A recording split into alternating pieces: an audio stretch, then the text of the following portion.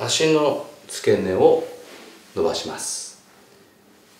えー、膝は曲げ前の方の膝は曲げた方がやりやすいと思います。今回は手でストレッチボールズを握ってほぐしていきます。